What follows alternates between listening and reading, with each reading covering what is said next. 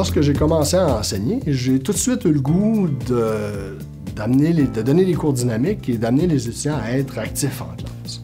Donc, j'ai été à l'affût de plusieurs méthodes d'enseignement et c'est comme ça que je suis arrivé à mettre en place euh, l'enseignement par les pairs dans mes cours. Au cœur de l'enseignement par les pairs se trouve la notion de question conceptuelle. Une question conceptuelle, c'est une question sur une notion clé de la matière qu'on vient de couvrir et qui nous permet de vérifier la compréhension des étudiants et peut-être d'aller chercher justement des fausses perceptions ou des mauvaises compréhensions du sujet euh, chez les étudiants. Alors en pratique, euh, la façon dont on implémente l'enseignement par les pairs en classe, c'est qu'on peut faire une partie de matière euh, en classe et poser une ou plusieurs questions de télévoteur. Suite à la question, les étudiants doivent réfléchir individuellement pendant 30 à 60 secondes et voter pour euh, la réponse qu'ils pensent être la bonne. Ensuite de ça, l'enseignant va encourager les étudiants à trouver quelqu'un dans leur entourage immédiat qui a une réponse différente de la leur idéalement, et ensuite d'essayer de convaincre finalement leurs voisins ou leurs voisines que leur réponse est la meilleure. Donc après quelques minutes de discussion, les étudiants euh, votent une deuxième fois. En fonction des résultats du deuxième vote, l'enseignant peut décider soit de donner plus de détails ou de précisions sur cette matière-là, ou tout simplement de passer à un autre concept quand on se rend compte que tout le monde comprend. Ce qui est fascinant, c'est qu'on se rend compte que les étudiants, en se consultant comme ça, vont très souvent converger vers la bonne réponse sans même que le professeur ait besoin de dire un seul mot.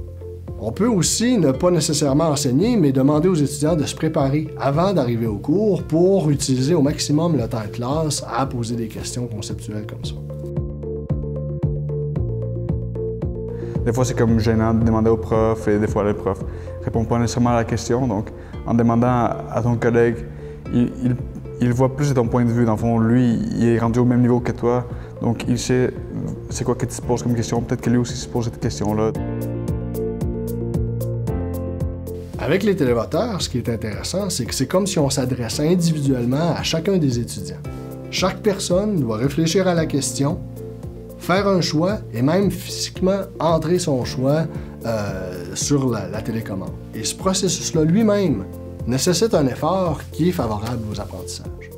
Mais personnellement, je pense que l'aspect anonyme du télévoteur euh, amène un élément intéressant et nous donne une idée un peu plus précise et exacte de euh, la compréhension de la classe. Cette rétroaction-là est aussi très utile pour l'enseignant. Je dis souvent à mes étudiants que ça leur donne la chance d'avoir un cours sur mesure. On passe pas de temps sur les notions qu'ils comprennent déjà, mais on peut mettre ce temps-là justement sur les notions qui sont plus difficiles. C'est vraiment après quand tu reviens pour étudier ta matière, pour faire tes exercices, bien, il y a déjà eu en classe une certaine période où des questions ont été posées, donc ça va plus rapidement, ou directement tu sais ce que tu as moins assimilé ou la partie qui est plus compliquée tu peux faire des liens puis te dire Ah oui, si on l'a posé en classe, ça serait plus dans ce chapitre-là, il faudrait que j'aille voir. Et on arrive déjà préparé en classe. Alors, ça a d'autres effets bénéfiques que simplement l'effet direct de l'interactivité de tout ça. Un défi, c'est de trouver des bonnes questions et particulièrement des bons choix de réponses qui vont favoriser la réflexion des étudiants, mais sans qu'on essaie de les, les coincer sur des petits détails. Alors pour moi, cet outil-là de télévoteur et de questions conceptuelles, d'enseignement par les pairs, représente un formidable outil pour provoquer des discussions en classe.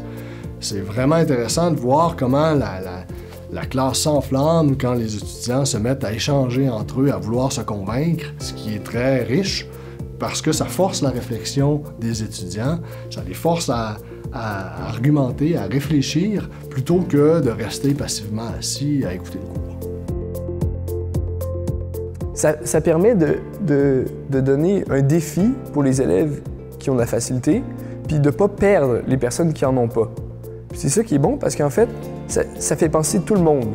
Un aspect extraordinaire de la méthode de l'apprentissage par les pairs, c'est que c'est très flexible.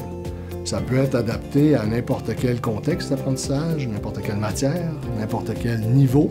Mais on peut tout aussi bien décider de juste poser quelques questions au courant de la session pour essayer et prendre goût finalement à cette nouvelle méthode d'apprentissage.